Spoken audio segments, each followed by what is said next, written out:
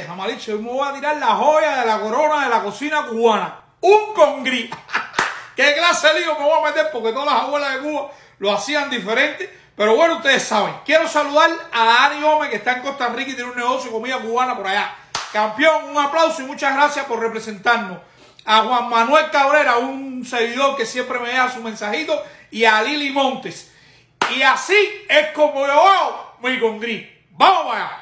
La regla número uno de mi abuelita, si no tienes manteca, no le eches. Y así también decía mi amiga Lucy, que también era una campeona, campeona mundial haciendo con gris. Cuando eso se derrita, vamos a echar la cebolla. Les voy a decir algo sobre las grasas que aprendí en una escuelita que yo fui.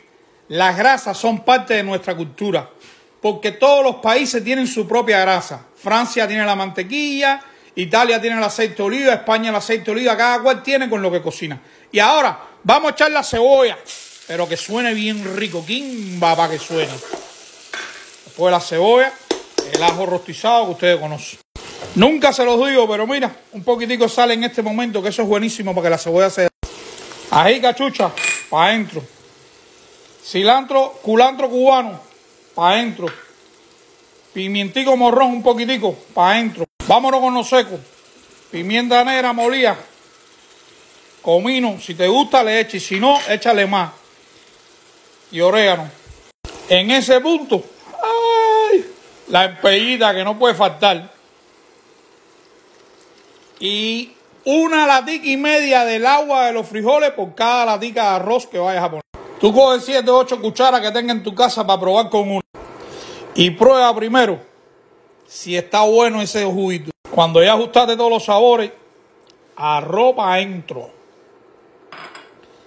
Y la misma cantidad de arroz del grano de frijol para adentro.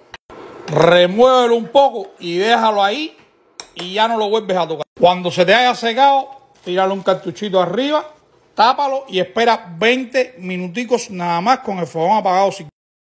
Por la bandera, por la Virgen de la Caridad, por tu abuela, por la mía, por nuestros ancestros, por la negra africana que unió los frijoles con el arroz y hizo este bendito arroz, por todos los cubanos, por donde quiera que estén, brindo por ustedes y brindo con este con gris. Gracias a todos los seguidores y a toda la gente que me siguen y a toda la gente que se ríen con mis payasadas. Gracias de todo corazón. SOS Cuba. Cuba merece libertad. Gracias de todo corazón a todos los que me siguen, cubanos y no cubanos.